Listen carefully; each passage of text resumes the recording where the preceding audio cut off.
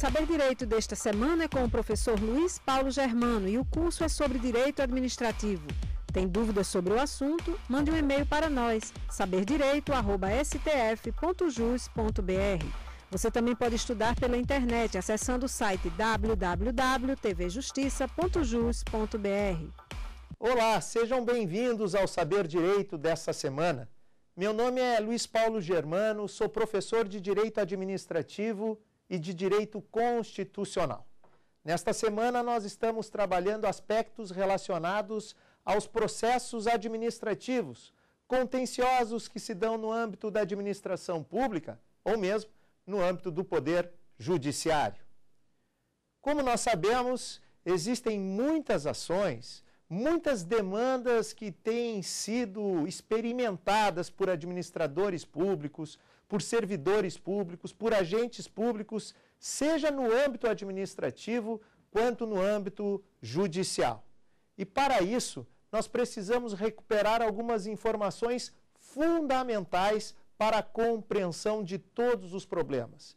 Todas as matérias que interessam efetivamente a uma defesa que seja eficaz, eficiente e que possa, na medida do possível, satisfazer os interesses do Estado democrático e de direito. Nós já acompanhamos aqui o desenrolar do processo administrativo disciplinar. Também já falamos sobre a lei de improbidade administrativa. Tentamos decifrar algumas questões polêmicas, sem deixarmos de pronunciarmos a nossa posição a respeito das questões mais difíceis de serem efetivamente compreendidas pelos nossos estudantes e pelos operadores do direito. Agora chegou a vez de falarmos sobre a ação popular. Esta ação que está prevista no inciso 73 do artigo 5 da Constituição e que foi regulamentada pela Lei 4717 de 1965. A ação popular, ela tem alguns predicados, algumas características que lhe são extremamente próprias. Aliás, é uma ação que convida, convoca, estimula o cidadão a exercer um controle sobre os atos, sobre os contratos da administração pública. Toda ação que estimula e desafia o cidadão a participar do controle da gestão pública precisa merecer, por parte do Poder Judiciário, por parte das autoridades públicas, do Ministério Público, uma especial atenção, um cuidado redobrado para que não hajam nulidades, para que não se veja o cidadão diante de situações extremamente perigosas, muitas vezes confundindo a tutela de um interesse de um direito difuso e coletivo por questões meramente de interesse político. Ação popular, prevista na Lei 4.717 de 1965, uma lei que surgiu justamente num período em que se teve algum tipo de cerceamento de direitos no âmbito do regime brasileiro, é uma lei que convocou o cidadão a poder, ele, efetivamente, exercer um controle sobre os atos e contratos da administração pública. A ação popular, ela surge para que o cidadão, aquele que tem o direito de votar, aquele que tem o título de eleitor, possa, se assim entender, propor questionamentos perante o Poder Judiciário em especial no que diz respeito à lesividade de contratos e atos administrativos, ou mesmo de circunstâncias que estejam a conspirar contra a legalidade, o bom procedimento e a boa conduta do administrador público.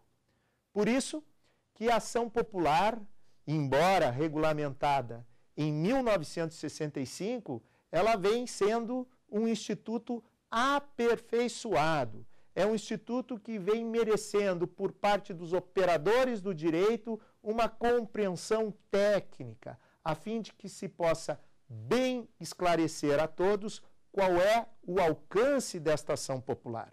quais são os objetivos daquele que se propõe a ajuizá-la. Logo, nós não temos como fugir daquela técnica fundamental para a compreensão dos propósitos da ação popular. Aquele que ajuiza a ação popular, ajuiza em nome próprio, na qualidade de cidadão que é, mas não tutela direito subjetivo, não tutela interesse próprio, ele tutela os direitos difusos, o interesse da coletividade, que é a legítima destinatária de uma boa, decente e moral administração pública. Por isso, você que nos acompanha tem que saber de antemão: o cidadão que propõe ação popular não está postulando um direito próprio, ele está postulando um direito de todos. O direito de se ter um governo honesto, uma administração pública proba e que se possa satisfazer com isso os interesses da coletividade. Eu dizia que os propósitos da ação popular eles se alteraram nos últimos tempos. Não que se alterasse, tenham se alterado de maneira muito substancial, mas agregou-se especialmente a partir da Constituição Federal de 1988 alguns outros propósitos para a ação popular. Como, por exemplo, a proteção do meio ambiente. Aliás, quando a gente ouve falar em proteção do meio ambiente, a primeira coisa que nós nos lembramos é de uma ação civil pública, é do Ministério Público a quem a Constituição, por excelência, outorgou tal poder. Mas não é só na ação civil pública ou como legitimado a propositura desta ação civil pública, o Ministério Público, quem tem esta responsabilidade de controle das questões relacionadas ao meio ambiente. O cidadão ele também pode propor uma ação popular e, ao propor ação popular, visar proteger, preservar algum recurso ambiental, o direito ao meio ambiente, da forma como previsto no artigo 225 da Constituição Federal. Patrimônio histórico, artístico e cultural.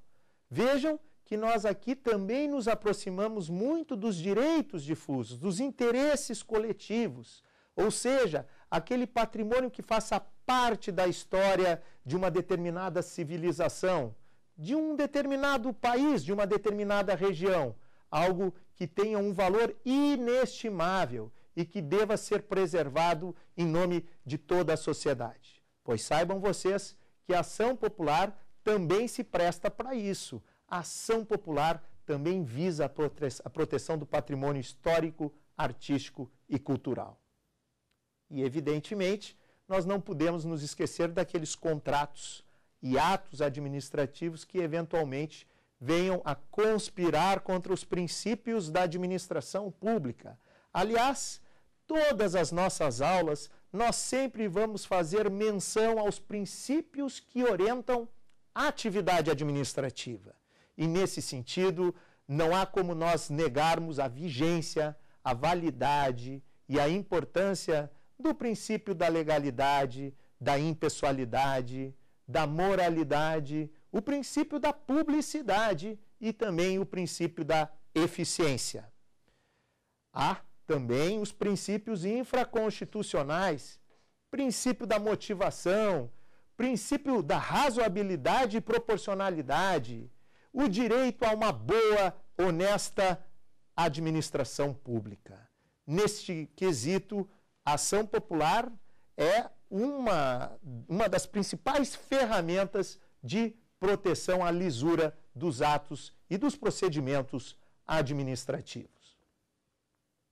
Eu dizia a vocês que o legitimado ativo para a propositura, para o ajuizamento da ação popular é o cidadão. Se eu me afastar um pouco das questões eminentemente políticas, eminentemente eleitorais, no século de hoje, eu posso conceituar o cidadão como sendo aquele titular de direitos e de deveres. Direitos e deveres que não se comunicam apenas com as questões políticas, com as liberdades públicas, mas também com os direitos cívicos. Para efeito da ação popular, entretanto, o cidadão é aquele que tem capacidade para votar, é aquele que tem o título eleitoral na mão e que, através deste título, comprova a sua legitimidade ativa para a propositura da demanda. Pergunta primeira que surge, uma dúvida cruel, ainda hoje muito debatida. Afinal de contas, o voto, o voto facultativo ele surge a partir dos 16 anos, mediante alistamento daquele jovem que pretende votar. Pois bem, será que um jovem com 16 anos, de posse do seu título de eleitor, ele pode propor uma ação popular? Se eu for avaliar apenas e tão somente a capacidade processual, eu teria alguma dificuldade de aceitar que um jovem, sem estar representado, aos 16 anos pudesse postular um direito em nome de todos, que é o caso justamente da propositura da ação popular. Acontece que esta legitimidade ela é especial, de maneira que o jovem, aos 16 anos, de posse do título de eleitor, ele pode sim ajuizar uma ação popular. Mas espera lá, não é ele sozinho ajuizando a ação popular. Ações judiciais exigem a capacidade postulatória, de maneira que o jovem precisará sim estar representado por advogado. Uma outra peculiaridade da ação popular, uma peculiaridade muito importante e ao mesmo tempo estimulante, é a chamada isenção de custas e honorários sucumbenciais ao final do processo. Isso possibilita que aquele que está a propor a ação popular, que ele possa se sentir um pouco mais tranquilo no desempenhar de seu propósito. Por quê? Porque ele sabe que, motivado pela boa-fé, pelo interesse público, pela vontade de poder efetivamente colaborar em favor de uma boa administração pública, pode ser que ao final da ação popular ele não tenha êxito no seu propósito e esta ação popular venha a ser julgada improcedente. Ora, a técnica natural é de que aquele vencido num processo ele tenha que arcar com as custas judiciais e com os honorários de sucumbência, pois por força da Constituição, inciso 73 do artigo 5 bem como de acordo com o estabelecido na Lei 4717, salvo comprovada má-fé, o autor popular está isento de custas e honorários advocatícios. Eu dizia, salvo má fé. E essa é uma preocupação que muitas vezes se tem.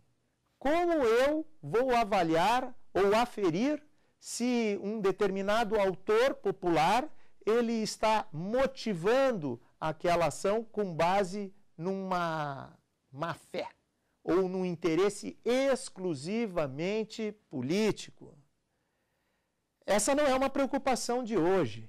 Professor Eli Lopes Meirelles já dizia isso, de que muitas ações populares elas eram propostas simplesmente para atender interesses de natureza político-eleitoral, divorciando-se, portanto, do interesse difuso dos direitos que devem ser preservados, que são os direitos vinculados uh, à sociedade, a um governo honesto, a um direito de satisfação dos interesses públicos. No entanto, houve uma enxurrada de ações populares que, diante desta isenção de custas e honorários sucumbenciais, foram promovidas justamente para marcar algum tipo de pressão política em relação aos que estão sendo processados. Há pessoas que eventualmente estão lidando ou que lidaram né, com recursos públicos, manejaram contratos públicos ou realizaram atos agora impugnados. Divorciados do interesse público, se este autor, autor popular, ele for comprovado que agiu de má fé, ele deve arcar com custas e deve, inclusive, arcar com o ônus da sucumbência em relação contra ao contrato de honorários da parte adversa.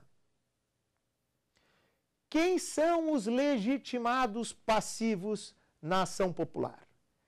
Quais são aqueles personagens que devem responder à ação popular? A gente vai desdobrando esses assuntos no decorrer da viagem, mas nós precisamos saber como está se preocupando aquele que nos assiste. Vamos lá por uma rodada de perguntas. Podem coexistir ação popular e ação civil pública sobre o mesmo objeto? Eu falava das questões relacionadas ao meio ambiente. Eu dizia a vocês que quando se fala em proteção ao meio ambiente, por excelência nós lembramos do Ministério Público. O Ministério Público não tem legitimidade para propor ação popular porque esta legitimidade é exclusiva do cidadão. Agora, nada impede que o Ministério Público, diante de um mesmo fato, diante de um mesmo acontecimento que deu ensejo a uma ação popular, possa também ajuizar uma ação civil pública. E isso é plenamente possível. Não há que se falar em litispendência porque aqui nós temos autor diverso, temos um processo diferente, com recursos inerentes à processualística de, também de maneira diferentes. Logo, uh, o Supremo Tribunal Federal e o Superior Tribunal de Justiça, inclusive, já simularam no sentido de que é perfeitamente possível a coexistência, a cotramitação de ações civis públicas e ações populares. Quem responde à ação popular? Pois bem, aqui nós temos uma situação também bastante abrangente. Não tão abrangente quanto aquela que vimos na aula em que falamos um pouco sobre as ações de improbidade administrativa, quando então nós identificamos na qualidade de agentes públicos todos e quaisquer que tiveram algum tipo de contato com aquele ato vinculado à improbidade. Aqui é de se reconhecer, na qualidade de sujeitos passivos, tanto autoridades públicas quanto pessoas jurídicas de direito público.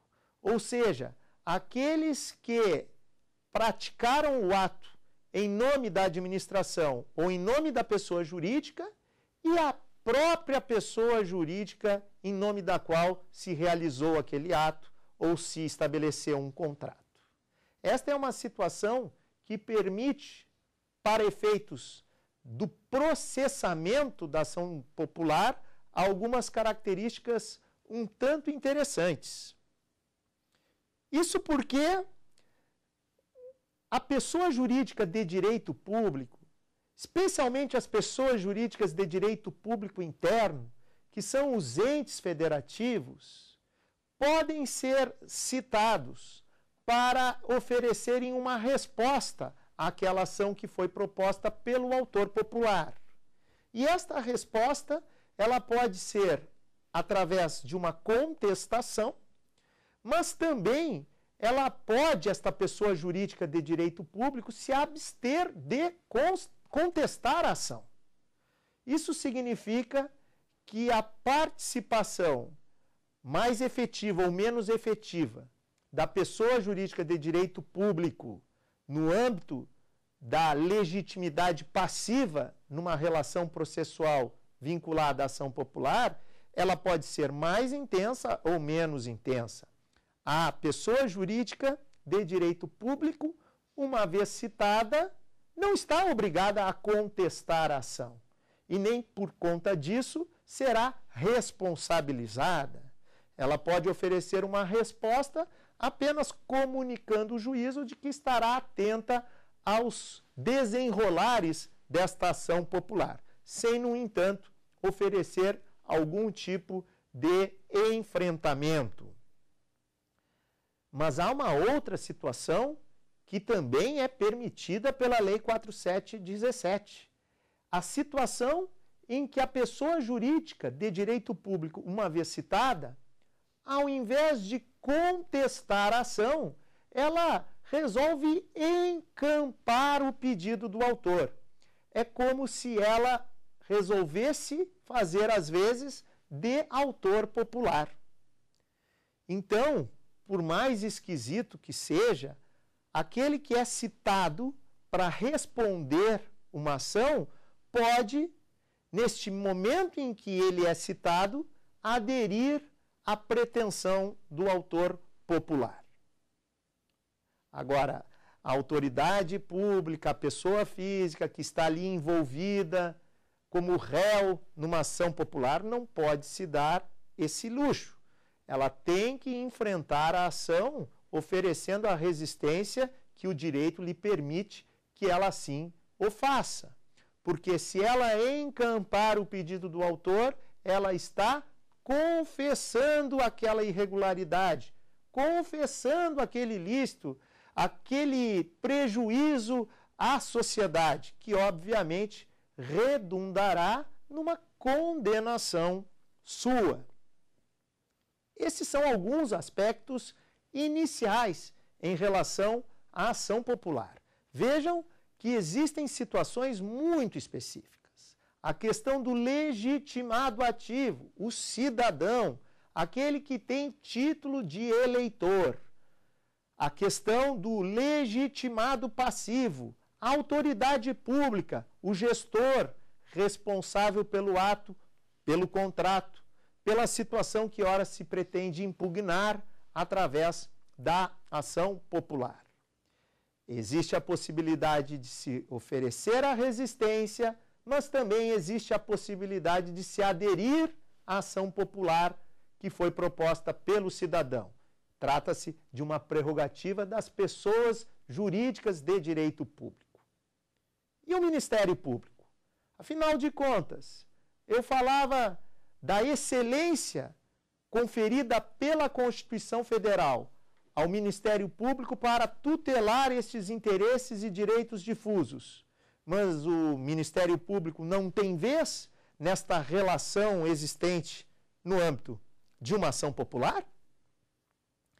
Tem vez sim. Ministério Público ele não pode propor a ação popular, porque, como aqui já dissemos, trata-se de uma prerrogativa do cidadão.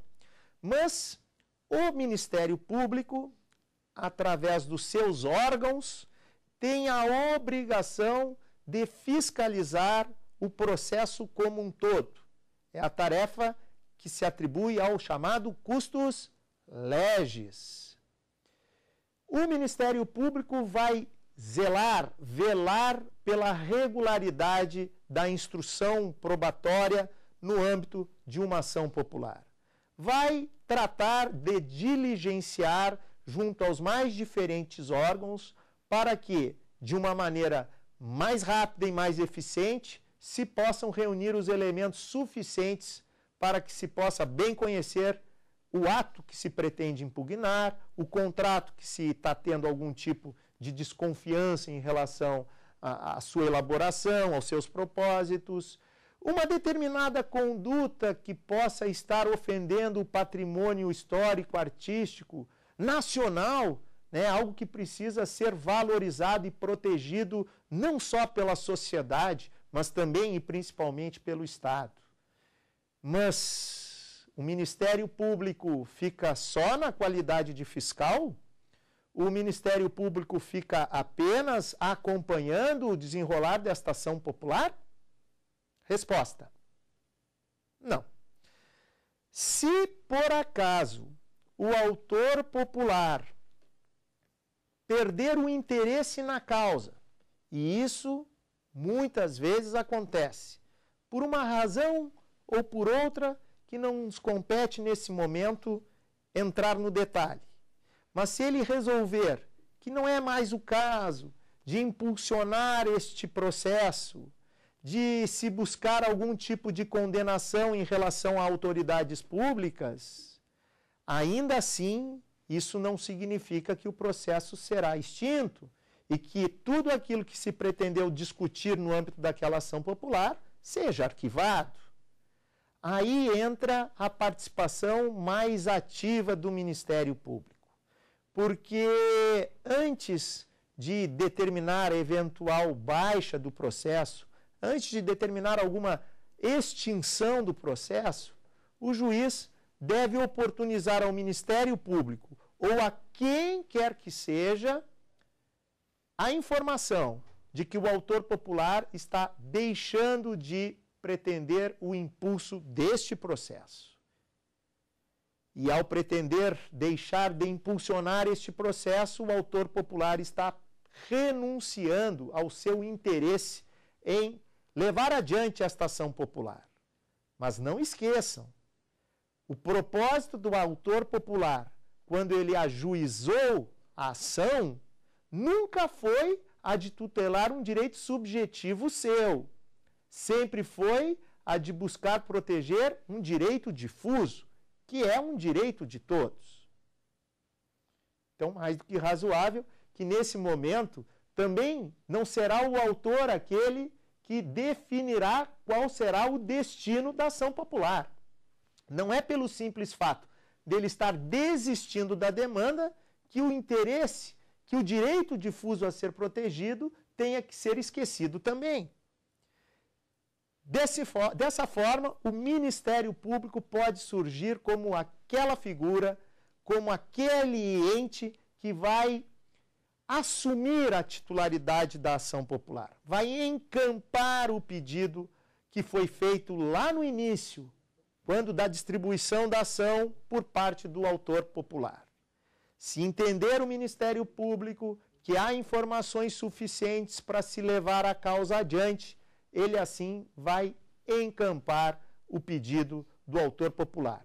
E assim o fará em nome de uma sociedade que ele ali representa a partir dos direitos difusos inseridos na ação popular.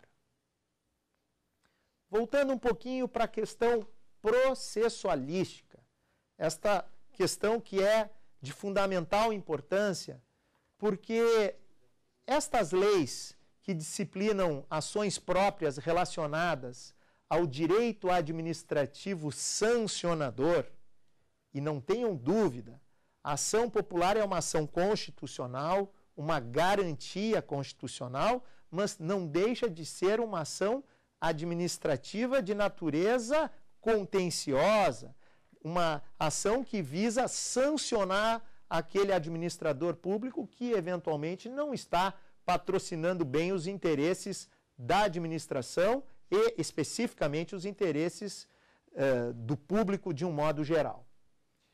Pois bem, há lei específica que regulamenta o processo. Subsidiariamente, como se sabe, e nem poderia ser diferente, nós temos a aplicação do Código de Processo Civil.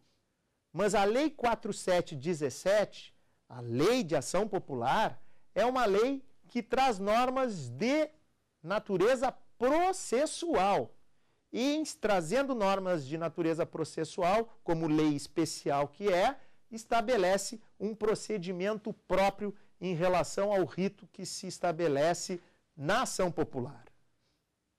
Logo, estando a petição inicial em condições, que são aquelas condições básicas para que um processo possa ser instaurado, o juiz determinará a citação dos réus, dos requeridos, daqueles que foram colocados pelo autor popular na qualidade de polo passivo da relação. Este prazo é um prazo de 20 dias, que, no entanto, pode ser prorrogado por mais 20 dias, se interesse houver por parte daquele que tiver a necessidade de contestar aquela ação. Evidentemente que não se trata de um direito líquido e certo. Não basta simplesmente pedir para o juiz, para o magistrado, uma dilação do prazo para oferecer a contestação. Mas demonstrando que está buscando informações, documentos para subsidiar a sua contestação, poderá requerer eh, este, este, pedido, esta expansão no seu prazo para a oferta da contestação e o juiz deverá, portanto, deliberar e aceitar ou não ah, ah, o aumento desse prazo, que era de 20 dias por mais 20 dias. Vamos ver mais uma pergunta para ilustrar a aula de hoje. Popular pode ser extinta mediante a desistência do autor da demanda. Vocês podem estar surpreendidos, mas espera aí. Ele disse instantes atrás que no caso de desistência por parte do autor da demanda popular, será lançado um edital para se verificar se alguém da sociedade pretende assumir os propósitos abandonados pelo autor da ação popular. Vai se dar vista ao Ministério Público para se manifestar acerca daquela desistência e se entender o Ministério Público que é caso de se levar adiante a ação popular, ela prosseguirá independentemente da vontade do autor original da demanda. Por que, que agora ele está dizendo que a ação poderá ser extinta mediante a desistência do cidadão que propôs a ação popular? O que eu disse é que pode não ser extinta se houver interesse do Ministério Público ou de um outro cidadão em encampar o pedido daquele autor popular.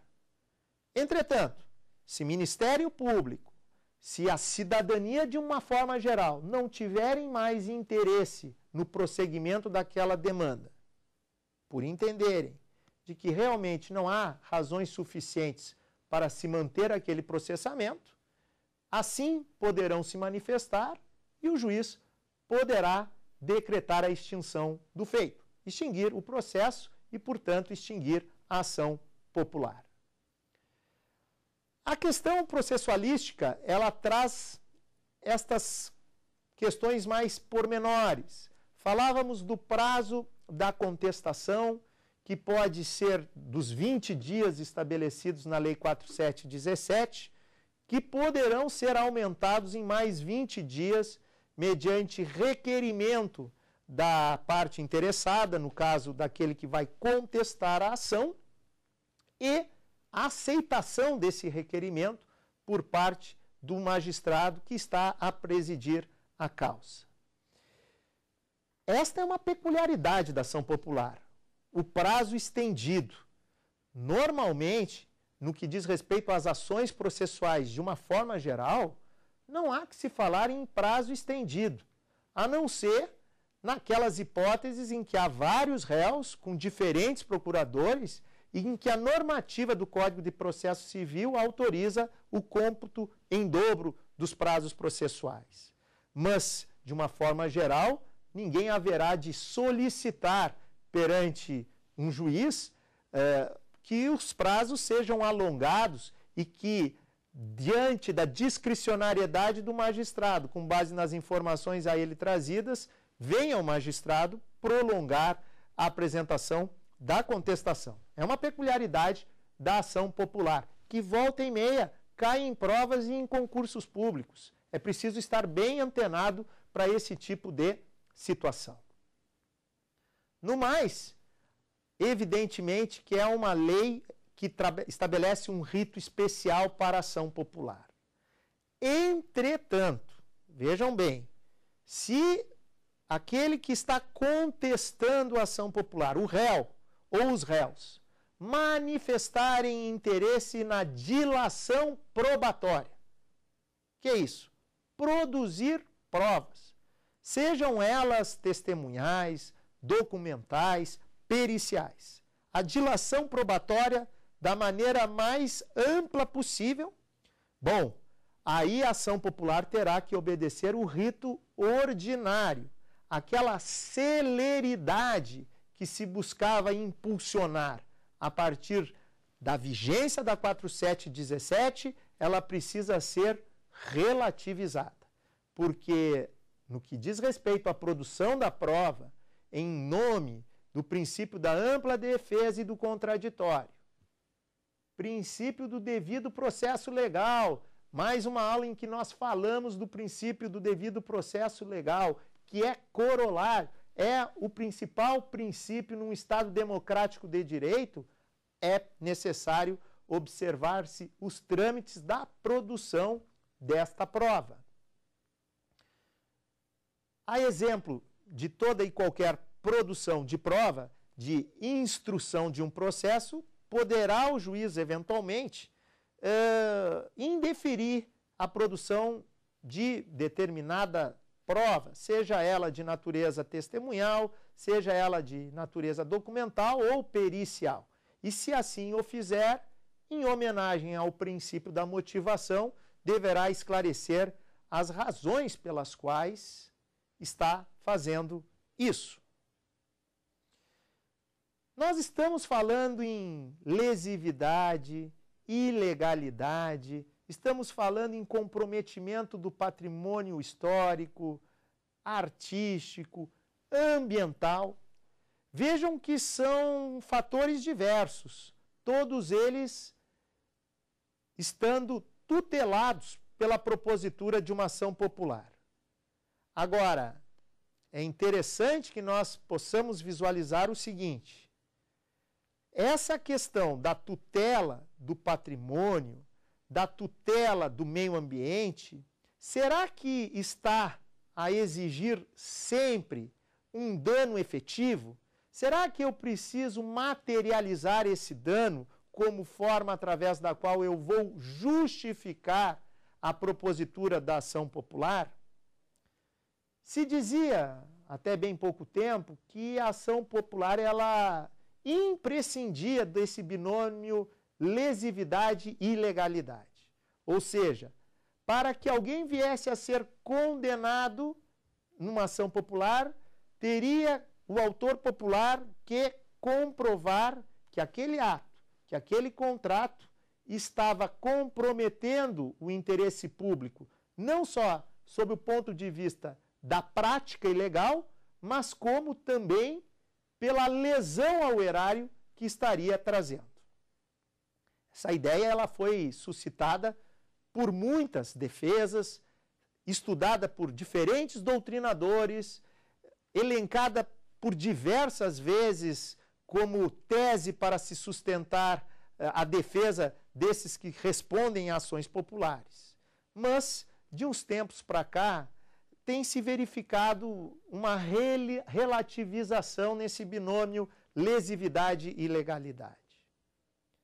A pergunta que eu faço é a seguinte: em havendo ilegalidade e não havendo lesividade, mesmo assim, se justifica a propositura da ação popular? Poderá alguém vir a ser condenado numa ação popular por eventual prática de um ato ilícito, mesmo que este ato ilícito ele não seja lesivo, não traga prejuízos econômicos à administração? Resposta: sim, porque este binômio ele precisa ser interpretado de maneira repartida. Lesividade e ilegalidade nem sempre caminham juntos. Nem sempre um é causa e o outro é consequência.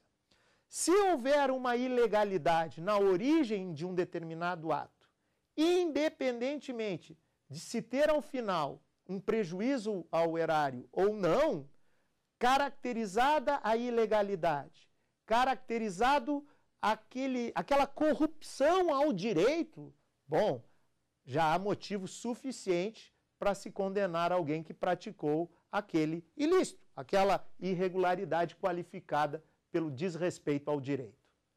Portanto, muitos livros que vocês estão folheando, doutrinas um pouco mais antigas, insistem com esse binômio lesividade e legalidade. Vocês, a partir de hoje, estão autorizados a dividir esta situação. Ou seja, nem sempre o que foi ilegal será lesivo sob o ponto de vista econômico, o que não significa, em hipótese qualquer, que aquele sujeito que descumpriu a lei, mas, no entanto, eh, não trouxe nenhum prejuízo à administração pública sob o ponto de vista econômico, que esse sujeito está livre de uma sanção decorrente da ação popular. Ele poderá responder e poderá sim ser punido por força do ato ilegal que praticou. Existem situações um pouco mais graves. Existem situações mais simples. Situações em que se está questionando uma situação muito pontual, uma, uma questão de praxe no âmbito da administração pública que não gera nenhum tipo de repercussão de maior intensidade. Essas ações são possíveis de serem ajuizadas, mas não é razoável que o seu autor peça qualquer tipo de liminar, antecipação de tutela, enfim, um juízo antecipatório do Poder Judiciário. Agora, existem ações mais importantes sob o ponto de vista econômico, inclusive sob o ponto de vista ambiental, sob o ponto de vista do patrimônio histórico. Estas estão a ensejar, não raras vezes, uma medida antecipatória. É quando o autor popular ajuiza a ação com um pedido de liminar.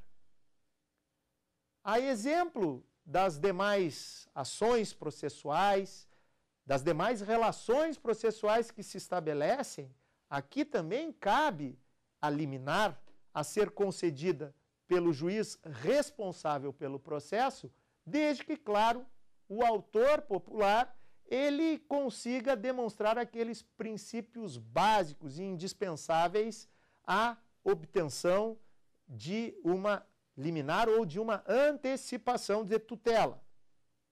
É o caso do periculum in mora, o perigo na demora da tutela, né? e o fumus boniuris, a fumaça do bom direito. Você já está acostumado com estas expressões em latim e especialmente com o significado delas. Mas não custa nós aqui repetirmos. O periculum in mora significa que se não concedida aquela ordem, se não concedida aquela decisão judicial antecipatória, é possível que o objeto a ser tutelado ele venha a perecer. Já o fumus boniuris, a fumaça do bom direito, é a demonstração mínima que eu faço ao magistrado de que o direito está comigo, que está a justificar a propositura que faço via ação popular.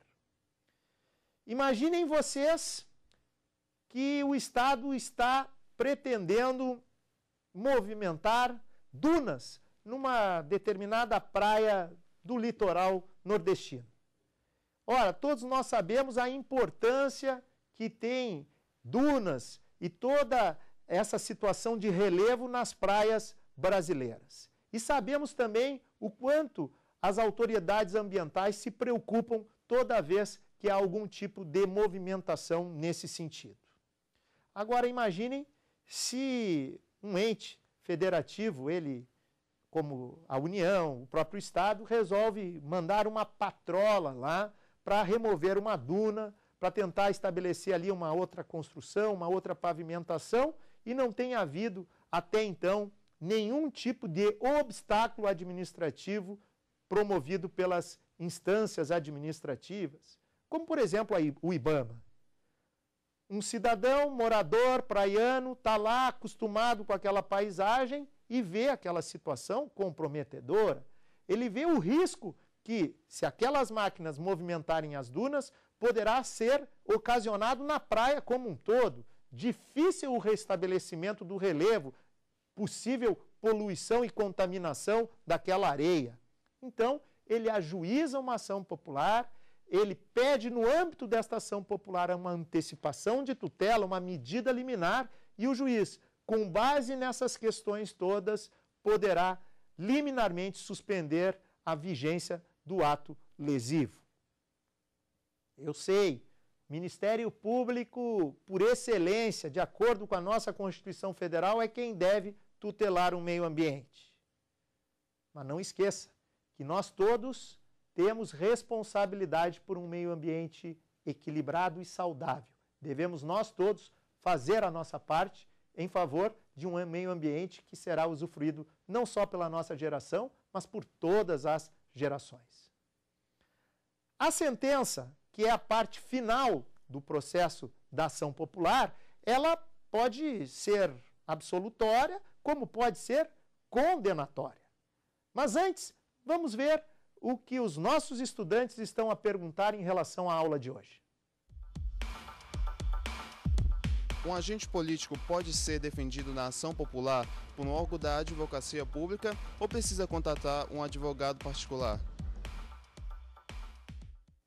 Essa pergunta ela nos conduz a uma situação um tanto instigante. Né?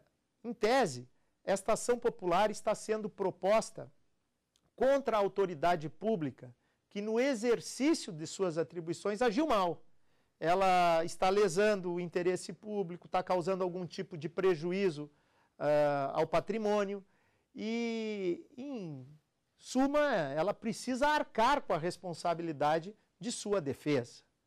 Logo, é, é muito interessante, é preferível, aliás, é necessário que se contrate sim um advogado particular, porque a advocacia pública ela não está aí estabelecida para defender a pessoa do administrador público em relação a eventuais atos que dele tenham sido emanados e que comprometam o interesse público. O mesmo vale para a ação de improbidade administrativa.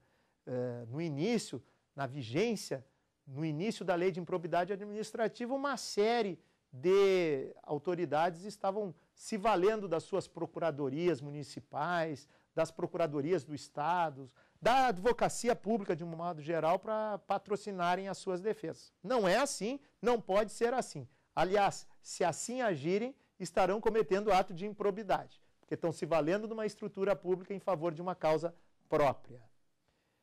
Essa questão relacionada à, à, à sentença proveniente da ação popular, ela pode gerar a condenação, como eu dizia, como a absolvição. A condenação, ela importa necessariamente na obediência ao comando condenatório, que muitas vezes está relacionado a uma questão de natureza indenizatória. Vale dizer, a pessoa que causou algum malefício ao patrimônio público, tenha causado algum tipo de prejuízo ao patrimônio histórico, ao meio ambiente, dificilmente, especialmente nessas duas últimas situações, será condenada a reestabelecer o status quo do ambiente antes da sua ação. O sujeito eh, derrubou lá uma duna, dificilmente ele terá condições de reestabelecer aquela condição física da duna. Então, normalmente, a sanção que se sobressai é uma sanção de natureza uh, indenizatória, algo que efetivamente venha a combater, venha a proporcionar uma recomposição do dano, do dano ocasionado. Sendo condenado, aquela regra que nós víamos em relação aos autores populares, de que eles estão isentos de custas e de honorários sucumbenciais, não se aplicam aos que foram condenados, aos réus. Os réus não se beneficiam né, dessa prerrogativa estabelecida pela Constituição e corroborada pela Lei 4717 de 1965. Logo, além da sanção que eventualmente eles venham a sofrer, os réus, uma vez condenados, terão sim que recolher em favor dos cofres públicos as custas judiciais a que forem condenados, bem como honorários sucumbenciais em favor do patrono da parte vencida. Mas há possibilidade de recurso. E o recurso aqui precisa ser estabelecido, estudado, eh, sob dois enfoques. O primeiro deles, partindo-se do pressuposto de que a ação popular foi julgada improcedente. Ou seja, o autor popular não levou êxito na sua propositura, que acabou sendo indeferida pelo Poder Judiciário. Nesse caso, haverá o reexame automático, o reexame necessário para que, no âmbito de um tribunal, se possa rever todas aquelas questões que foram apreciadas por conta da ação popular, no sentido de manter aquela decisão ou não. No caso daquele que foi condenado, daquele que se viu condenado no âmbito da ação popular, ele, obviamente, em homenagem ao princípio do duplo grau de jurisdição, poderá recorrer e deverá, para oferecer a sua apelação, recolher custas para que se possa processar o seu recurso, a sua apelação. Coisa que, em se tratando do autor popular, se ele quiser eh, motivar uma peça de apelação, ele estará isento por força da lei e por força, é claro, da Constituição.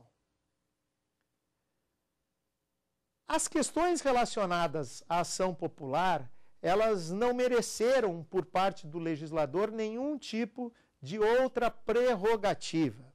O que, que significa isso?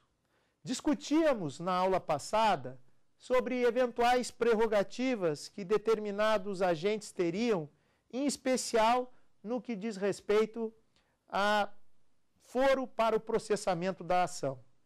Dizíamos naquele momento que aqueles que detêm prerrogativa de foro, o chamado foro privilegiado, poderiam ver suas ações, eh, nas quais figurariam como réus relativas a ações de improbidade, sendo processadas no mesmo foro que a Constituição lhes reservou em relação aos processos criminais. Um congressista, por exemplo, tem a prerrogativa de ser processado e julgado perante o Supremo Tribunal Federal. Se ele sofre uma ação de improbidade, dentro desta grande discussão que se tem hoje no âmbito jurisprudencial, ainda não resolvido, em tese, esta ação de improbidade poderia também ser processada e julgada por estas mesmas autoridades do Supremo.